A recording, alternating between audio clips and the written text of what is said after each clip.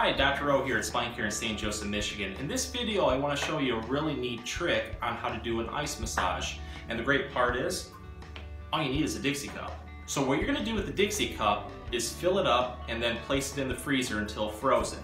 And once it's frozen, you're just going to simply start to tear off the side right here.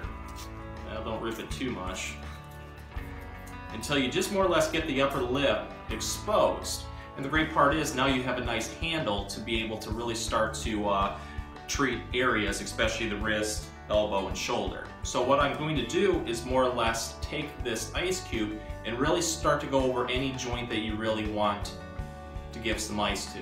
So when I'm using the ice massage right here, what I generally do is put a little bit of pressure in there and then start to press into it more as it goes numb.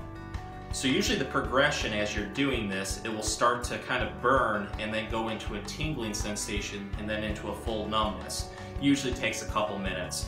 Once it goes into a full numbness, what you can do is actually really start to press more in there to get a deeper massage and really help decrease the inflammation and massage those tight tendons that might be causing a lot of irritation. When you're applying ice, to any part of the skin, you really want to limit it to about five minutes at a time. So you're more welcome to really switch to a different area if you want, but it doesn't matter if you want to go circular with it or if you want to go across the joint with the muscle. You know, I think that um, some patients tell me that they get better results if they follow the muscle or if they do it in a circular motion. Experiment with it, see what results that you get, and whichever gives you the best, follow up with it. So I'm just gonna simply go there. Now I'm already starting to make a mess. But it's just a really quick and easy way to be able to go in and really help decrease inflammation on a joint.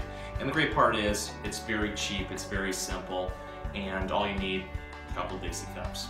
So if you have any comments or questions, definitely leave them in the comments section below, and I hope you really enjoyed this video. If you did, give us a like and give us a share, and I hope that uh, you'll watch our future videos that we'll be putting out.